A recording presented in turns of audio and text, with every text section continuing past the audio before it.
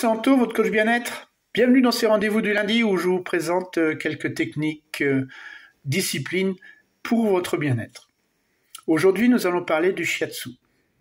Le shiatsu est une méthode japonaise de massage. En effet, on classe le shiatsu dans la catégorie des massages, mais contrairement au massage classique, le but est un peu plus thérapeutique. Le shiatsu est basé sur la médecine traditionnelle chinoise.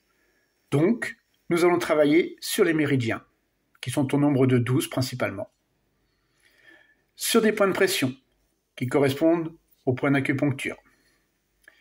Le thérapeute a comme outil de travail ses mains, avec lesquelles soit il va le faire des étirements, des pressions, des secouages, des lissages, des tapotements sur ces fameux méridiens ou ces points d'acupuncture.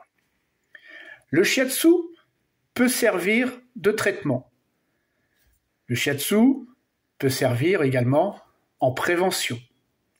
Effectivement, il ne faut pas forcément attendre d'avoir une problématique quelconque pour faire une séance de shiatsu. On peut le faire de façon préventive. Sachant qu'une séance globale de shiatsu, on va agir sur tous les méridiens puisque tout ceci travaille en interconnexion. Qui dit travailler sur les méridiens dit travailler sur le corps physique, le corps énergétique et le corps psychologique. Tout est lié.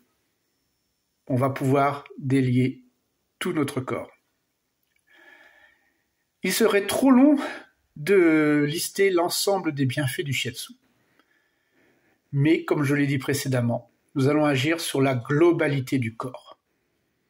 Le shiatsu prend le corps dans son ensemble. C'est une thérapie holistique. Si vous avez besoin d'enseignements, si vous voulez une séance de shiatsu, n'hésitez pas, contactez-moi, je me ferai un plaisir de vous répondre. En attendant, prenez soin de vous et à la semaine prochaine pour une nouvelle découverte.